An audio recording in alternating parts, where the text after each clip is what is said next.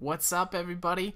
This is uh, JJ with mybringback.com, going through, uh, actually going through domain name servers and actually combining those domain names that you we've talked about in previous sessions with the hosting that you just purchased.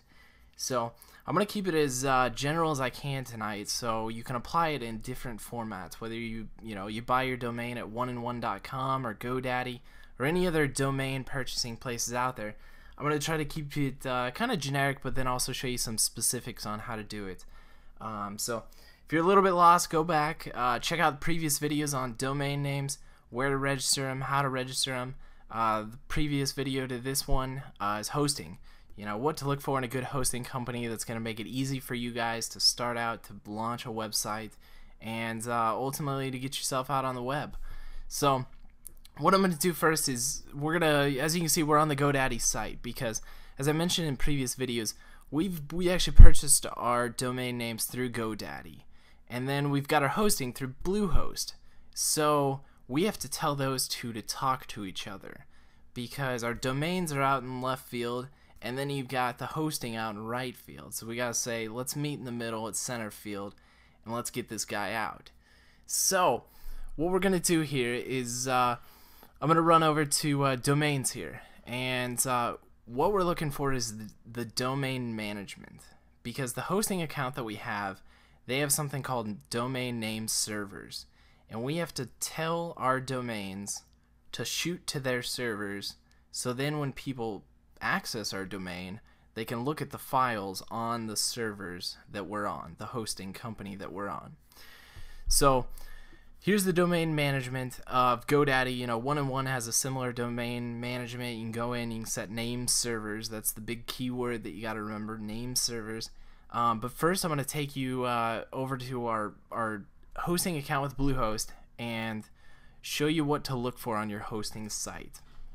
So go over to uh, your hosting account, open it up, uh, go find where they actually put their name servers.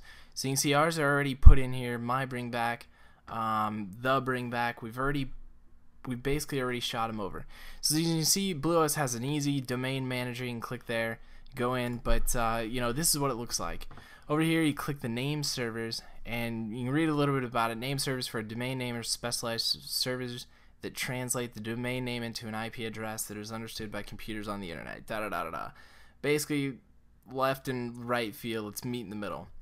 So Bluehost gives us ns1.bluehost.com. So there's one name server, and then ns2.bluehost.com. So basically, if one fails, the other one picks it up, and your site stays on online. So we've got two name servers we got to remember.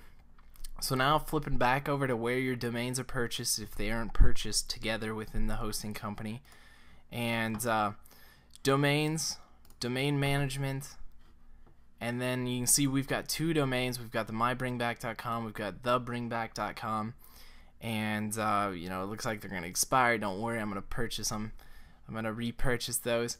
But uh, you click the one that you want to you want to send to Bluehost or your hosting company, and GoDaddy makes it pretty simple. You know, name servers right here. You can set your name servers. So we've got our site selected, and as you can see, I've already clicked. I have I have a specific name server for my domain, and bam, right there we've got the nameserver1.bluehost.com and nameserver2 at bluehost.com from the Bluehosting account. So they give you a few other options. I want to park my domains. Let's say you buy a domain, you're not ready to launch your website yet. You can park a domain, you can monetize it so you're making money off of ads and stuff if people ever stumble upon your your website. Um, you can forward your domain at this point as well. And basically what that means is is uh, you can you can have multiple domains. Um, so as you saw, we've also got thebringback.com. So when you go to thebringback.com, it actually forwards you on to mybringback.com. So if you own multiple uh, multiple domain names, it's a good way to generate uh, just back traffic into your site. Um, and then again, I have a hosting account with these domains, so another option out there. But since we're actually outside of GoDaddy and we don't have a hosting account through GoDaddy, we gotta set our name servers. So after you do that, it's easy as that. They basically take care of it from that point on. Um, you can see there's a little bit of a time delay. Usually take about two hours. However, it may take up to 48 hours, and that's pretty standard. You see that you know whether you're on GoDaddy, whether you're on um, another one in one, any of those companies out there that uh, have domains. So now we're gonna go back and uh, we're actually gonna input our domain into our hosting account. And uh, Bluehost makes it pretty simple. You can see assign a domain to the to your cPanel account. Um, this is going to be the the way on Bluehost. If you're if your hosting account, you know they usually have some pretty simple guidelines. You can shoot in there, um, assign a new domain, or hook a hook a new domain into your cPanel. Usually pretty simple to do that. If you can't figure it out, uh, you know, unfortunately, you probably bought one of the cheaper hosting packages. And uh, you know, I hate to say it, I've I've done the same. I've bought a cheap hosting package, and it's just terrible. It's terribly hard to find anything to to make it simple. So again, uh, click the click a link, search it. Uh, your domain hosting account should have a help center. Look through that to make sure you can find it. But after you've uh, figured out the domains, assign those to your domain names.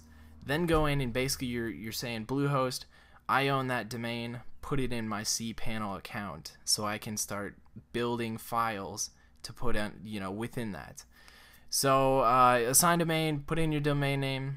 Again, add-on parks gives you a few options. Um, and then you can basically say, you know, do you want to use an existing directory or do you want to create a new? Typically, you want to create a new directory with that. And then uh, click add domain. And uh, like GoDaddy said, could take anywhere from 2 to 48 hours. So if you don't, if if you go to your you know domain name on your site and nothing's showing up, you're gonna have to wait a little bit for that transitional period. So keep that in mind um, when you're when you're assigning the the name servers and the hosting to the domain. So that's pretty much it for this uh, tutorial series. Um, again, you got any questions? Leave some comments for us. We'll try to help you out with uh, any of your questions. Um, again, stay away from kind of the cheaper hosting sites as uh, it makes it a little bit more difficult to to connect the left and the right field. Um, but uh, usually they have some pretty good helps if if you can't figure it out. So keywords to remember: name servers as you're uh, as you're looking for those, and uh, just putting those together. So stay tuned. We're gonna go through uh, actually installing stuff in the next tutorials, putting a platform together, whether it's WordPress, uh, forums, this or that, we'll uh, we'll take care of you. So um, subscribe, and uh, I look forward to uh, helping you out with the next one.